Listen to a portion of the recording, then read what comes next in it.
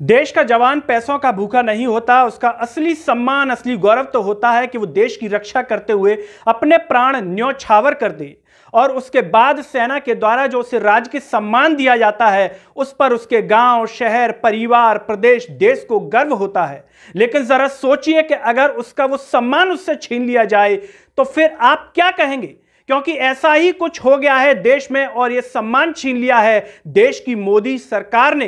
वो video social media पर बड़ी ही तेज़ी से वायरल हो रहा है। अगर आप उस वीडियो को देखेंगे तो आपको बहुत खराब लगेगा। नमस्कार, मैं हूँ गिरिराज शर्मा और आप देख रहे हैं सरल टॉक। सभी से एक अपील है कि समाज को सब्सक्राइब कीजिए, साथ ही साथ सरल टॉक को फेसबुक, ट्विटर, टेलीग्राम, इंस्टाग्राम सभी पेजों पर आप ज़रूर फॉलो कीजिए। सोशल मीडिया पर आज एक वीडियो बड़ा ही वायरल हो रहा है। यह वीडियो है देश के पहले शहीद अग्निवीर का। नाम है अमृतपाल सिंह। मात्र 19 साल की उम्र में अमृतपाल ने अपने प्राण देश के लिए न्यौछावर कर दिए। जम्मू कश्मीर के पुंछ में देश की रक्षा करते हुए उन्होंने अपने प्राण न्यौछावर कर दिए। सेना के दो जवानों के द्वारा जब उनके शव को उनके गाँव कोटली कला प्राइवेट एंबुलेंस से लाया गया तो गाँव वाले बड़े ही आश्चर्यचकित हो गए और उन्होंने पूछा कि सेना के और जवान कहाँ हैं और प्राइवेट एंबुलेंस से क्यों लाया गया है?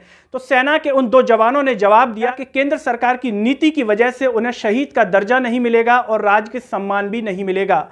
वो सब छोड़ करके चले गए। ये वीडियो सोशल मीडिया पर बड़ा ही वायरल हो रहा है। वालों ने अमृतपाल को अंतिम विदाई दी। उसके बाद गाँव वालों ने पुलिस से निवेदन किया तो पुलिस के द्वारा उन्हें सलामी दी गई। इसके बाद सोशल मीडिया पर बहस छिड़ गई कि देश की मोदी सरकार ये किस प्रकार का कार्य कर रही है। क्या नियमित जवान और अग्निवीर जवानों में भेदभाव किया जा रहा है? ये सोशल मीडिया पर लिखा गया है।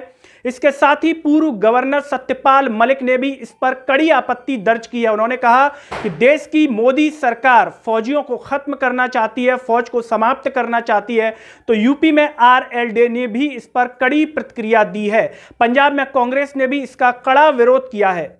आपको बता दें कि अग्निवीर योजना पिछले साल लाई गई थी। ये भर्ती मात्र चार साल के लिए है, लेकिन इसमें जवान अगर अपने प्राण देश की रक्षा करते हुए न्यौछावर कर देता है तो उसे शहीद का दर्जा नहीं दिया गया है। केंद्र की इस योजना में दोस्तों, इस पूरे वीडियो पर आप क्या सोचते हैं? क्या अग्निवीरों को राज्य की सम्मान मिलना चाहिए या नहीं मिलना चाहिए? मोदी सरकार ने जो अग्निवीर योजना लागू की है, उसमें जो शहीद का दर्जा अग्निवीर को नहीं दिया जा रहा है, उस पर आपकी जो भी राय हो, कमेंट बॉक्स में ज़रूर बताइए। इस वीडियो को हर जगह शेयर कीजिए, चैनल को सब्सक्राइब कीजिए, साथ ही साथ सरल टॉक को आप फेसबुक, ट्विटर, टेलीग्राम, इंस्टाग्राम पर भी ज़रूर फॉलो कीजिए और सरल टॉक को ज्वाइन व थैंक्स बटन के द्वारा ज़रूर सपोर्ट कीजिए, जिससे हम और बेहतर स्वतंत्र पत्रकारिता कर सकें। नमस्कार।